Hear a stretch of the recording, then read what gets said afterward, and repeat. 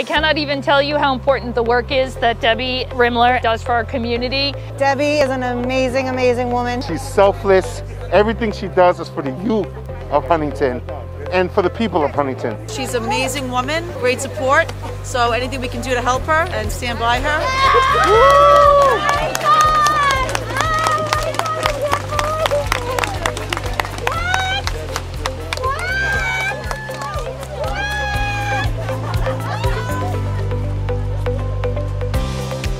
This is so crazy! I can't believe it! She serves everyone in every way, children all the way up to full families. She helps the community, she helps the kids, she helps us all. Debbie, we just want to say that this took a whole community to come together. From government, the town supervisor here, all the town boarders here, from the police department. I'm in shock. I'm really in shock. We have to get insurance, quick. Everybody came together and we were able to do this at a time where everyone's going through hard times. And some people pitched in $5, a dollar, $100, $500. And some people didn't have anything to give, but they told their neighbors to donate towards it. It took Empire. Mike Brown, who was from Huntington, he stepped in and he said, don't raise any more money, I'll take care of it. And so we have it. And we thank you for doing what you do, Deb. Thank all right? you. We, we are all, yep. Huntington is an incredible yep.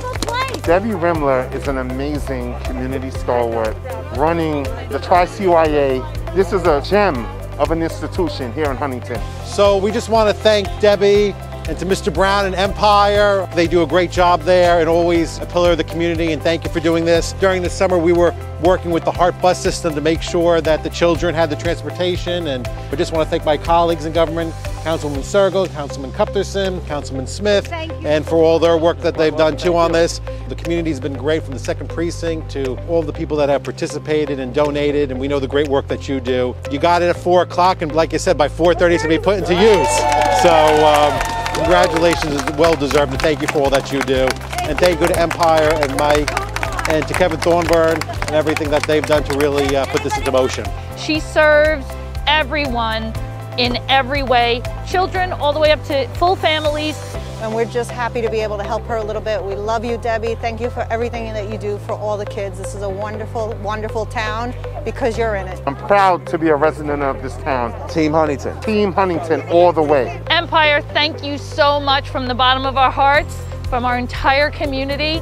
We cannot possibly thank you enough for this unbelievably generous gift and to every member of the community who donated, like Kevin said, $5, sharing posts, sharing information, talking to your neighbors about the need that was able to raise the money for this van that will service this community for at least 10 years, at least, without them even having to worry about ever losing access to transportation again. So thank you very much, Empire. Thank you, everyone. We appreciate you.